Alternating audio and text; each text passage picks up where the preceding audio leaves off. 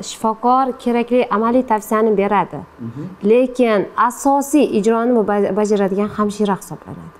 Agar ijroni hamshira zo'r to'la to'kis bajarib bersa ana o'shandagina sifat natijaga erishamiz. To'la to'kis vazifasini ado et- etib bera olmasa unda ming zo'r jarroh bo'lsin ming zo'r shifokor bo'lsin kutilgan natijaga erishish qiyin. O'zi bo'lajak hamshiralarni tayyorlayotganda mana shu jihatlarga alohida e'tibor beriladimi? Biz nafaqat bilim berib balki ular bilan bemorni kerak bo'lsa ularni temperamentini vaqtida aniqlay olish. Ularni qanaqa so'z gapiradi gapirsa ma'qul keladi. O'shalarni joyiga qo'yib gapirish yo'llarini ham o'rgatamiz chunki o'zi istamagan holda jahlini chiqarib yuborishi mumkin. albatta chiqarib qo'yishi mumkin. Misol uchun kimdir xollerik temperamentga xos bo'lishi mumkin.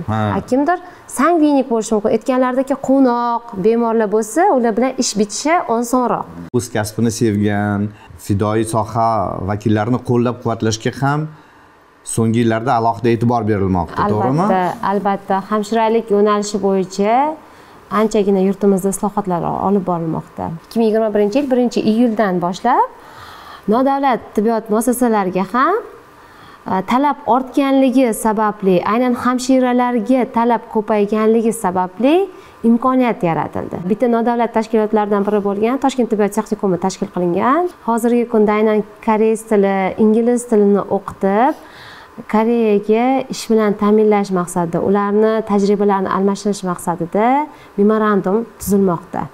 Ya'ni yaxshi mutaxassislarga xorijda ham talab, judayam yuqori. Aynan o'zbekistondagi hamshiralarga talab judayam yuqori. Nafaqat koreyada balki hozirgi kunda germaniyada ham judayam talab kuchaygan